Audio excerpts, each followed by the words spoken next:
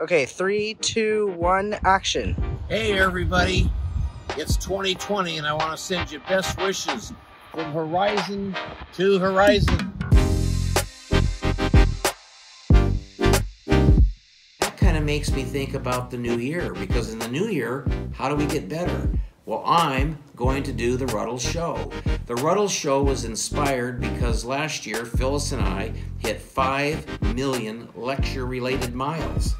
Uh, you know, I got old on all that travel. So, what I'd like to do is recognizing the importance of connectivity, and I want to massively improve on that because I can't be everywhere at once. Uh, I want to reach out to those 40, 50, 60,000 people that follow Ruddle.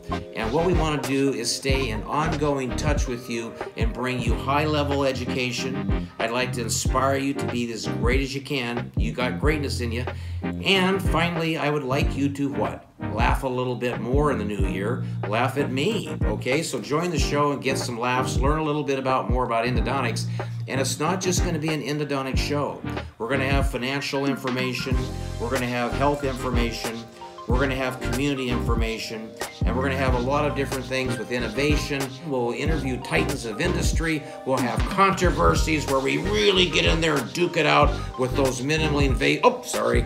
They're just good souls trying to do good endodontics. So, hope to see you next year, and welcome to the Ruddle Show.